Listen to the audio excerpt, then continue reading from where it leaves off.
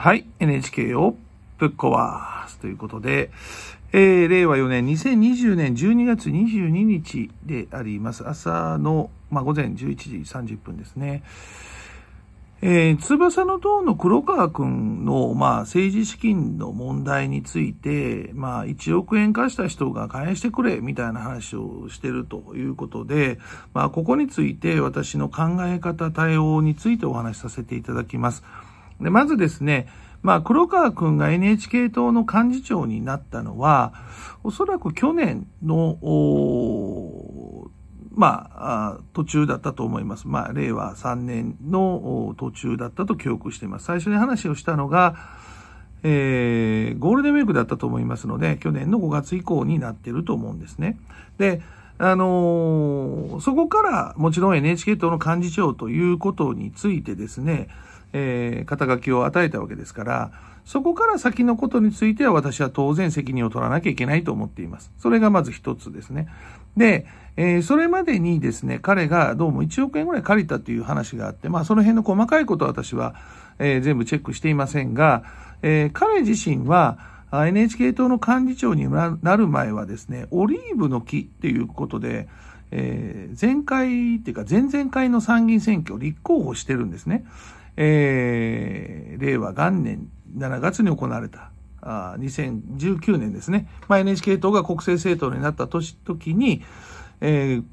黒川くん自身がオリーブの木ということでいろいろな人が集まってですね、まあ、その選挙に出て、まあ、供託金が最低でも、3億、あ、ごめんなさい、3000万以上ということでね、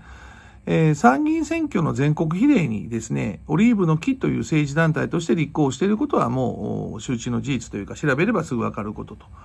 で、まあその際に彼が1億円ほど借金をしているっていうことに関して、まあこれはですね、その、オリーブの木として、えー、選挙に立候補していないとかっていうことであれば、これは大問題なんですが、結果としてちゃんと立候補をして、それなりにちゃんと政治活動や選挙運動をしていることからしても、お金を貸した人っていうのは、えー、それを望んだわけですよね。で、そういう活動を望んだ結果、オリーブの木の考え方が、えー、今も当時から今も浸透すればいいという思いでお金を貸したのではないかなと、これは推察します。えー、ですから、ある事業に対して、これはまあ事業じゃないですけど、選挙運動とか政治活動ですけども、それに対してお金を貸した、あしか、そしてそれの仕事をした、そういう活動をした、えー、オリーブの木としてちゃんと政治活動、選挙にも出たということであれば、これは詐欺には当たらない。まず詐欺には当たらないと思うんですね。で、結果が出なかったからといって、じゃあお金を返してくれっていう権利はあるんですけども、まあもちろんやることをやっているんだから、えー、それは返しませんと。おまあ、そのお金を返しませんということも、それは全然構わない主張なんですね。それぞれの権利なんですね。で、返せ、いや、返しませんってなったら、もう、こっちの人は、いわゆる貸した側は裁判するしかないわけですよ。で、裁判をしました。あ、当然、お金を貸した側は勝ちます。とすると、今度は、えー、弁済能力っていうことになってくるわけですね。支払い能力あるかどうか。ってなると、もう全然お金がなければ、もうこの人は裁判には勝つけど、勝つけども、弁済してもらえないということで終わるわけですね。で、これが世の中の、おちょっとそのお金の貸し借りを知っている人の常識なんです。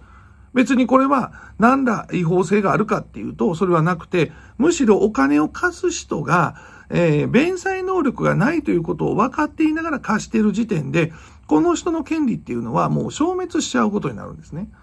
で、それはこの人は、その、弁済能力がなくても、まあ、選挙に勝ったら弁済してもらおう。でも選挙に勝てなきゃ弁済してもらえないということは、あらかじめ分かっていたと思いますし、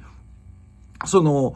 えー、それだけのお金を貸しても、この人の生活が困らないわけですよね。ですから、これは、お金を貸すのも一つのビジネスになるんですよ。もちろん、あの、ビジネスじゃなくて、えー、自分が信じる、信仰する、まあ、信仰というか支持するですね、政治だ、かつ、あの、政治団体や政治家にお金を貸したら、えー、こっち側がうまくいかなければ、帰ってこないっていうのは、そう、そう、想定がつくわけですね。あらかじめ想像がつくわけですよ。だから、そこは、あ国としては何かこの人に権利、お金を渡すっていうことはしないっていうことになっているんですね。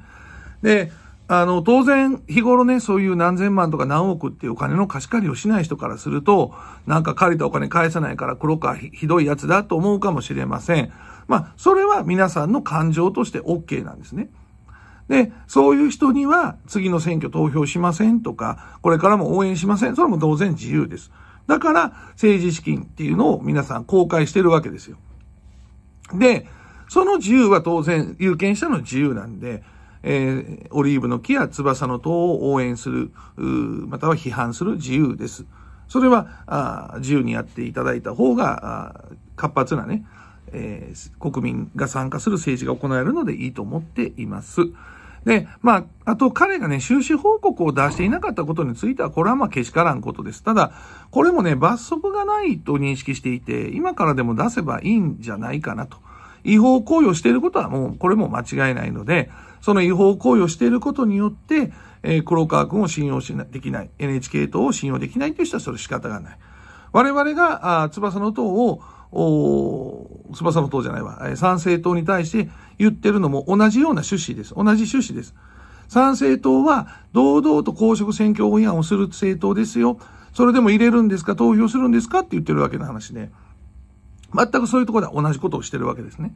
で、えー、我々 NHK 党は参政党のその被害者の方から相談を受けて、これは国民が被害を受けてるなと。一般国民が被害を受けてると。いわゆる消費者契約法や来年5月から施行される新しい法律に照らし合わせても、賛成できるから、政治に参加できるからお金をくださいというようなことを言ってですね。で、それを事実を知って、じゃあお金返してって言ってもお金返さないと。まあ、これは、最初から騙そうとしていたという可能性もあるので、詐欺罪の可能性も否定できないんですね。ですからそれは国政政党としてお金を使って時間も使って調査をしているということなんですね。だから、黒川くんが、その、一般人の方から、まあ、誰から借りたか知りません。一人かどうかもしれませんが、1億円借りたっていうことは、これは、ここの当事者間の問題であって、えー、周りの人が依頼もされていないのに、その、批判をするのはいいと思いますけど、なんかそれを、ここの合意のことについて、まあ、うだうだ依頼もされてないの言うのは僕はちょっと、なんか、あの、ただの、出しゃばりの人かなと思います。ただ、皆さんに伝えるという意味で言ってるんだったら、それは、お国民にね、えー、周知するために言ってるっていうんだったら、それは全然いいことだと思います。で、えー、お金の、あのー、黒川くんですね、いわゆる今の翼の党に、黒川くんが、えー、NHK 党の幹事長になってから、翼の党にお金を貸した人、あるいは、えー、募金をした人ですね、いわゆる寄付をした人で、そういう人の中で、お金を返してほしいという方がいれば、私が責任を持ってお返しいたします。それは、えー、当然、NHK 党の幹事長という肩書きを与えているのは私ですから、NHK 党の幹事長の黒川くんが、あ翼の党という政治団体に寄付してくれと。でも、それはおかしいからお金を返してってなれば、私に責任がありますから、えー、幹事長になった後にお金を貸した人、えー、寄付をした人については私は責任を持って返金に応じます。ということで、えー、今回のこの問題に対しての NHK 党の党首として、えー、黒川幹事長の問題、まあ、金銭に関わる問題について私の考え方を述べさせていただきました。以上です。NHK をぶっ壊。